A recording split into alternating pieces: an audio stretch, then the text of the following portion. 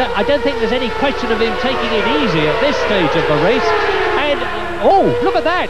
Tire, tire and wheel off now. What did it come off? I can't. Well, let's have a look. There's a car somewhere with only three wheels on it. Well, would you, would you believe it?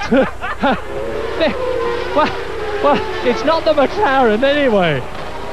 and it's not Eddie Irvine, and it's not Damon Hill, and, and Ayrton Senna is not making... Oh, it's Martin Brundle. It's Martin Brundle. You can see his right front is locked up, and when, it, when the wing clears the picture, you'll see that his left... Oh, thank you. We don't want to look at the front of the car, we want to look at the back of the car.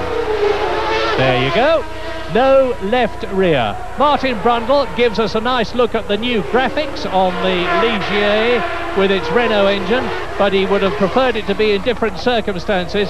Now, I can only assume that Martin Brundle had come in from a tyre stop and the wheel nut had not been put on tight enough or properly. I'm only guessing, but I can't think of any other reason why the wheel should come off as cleanly as that. So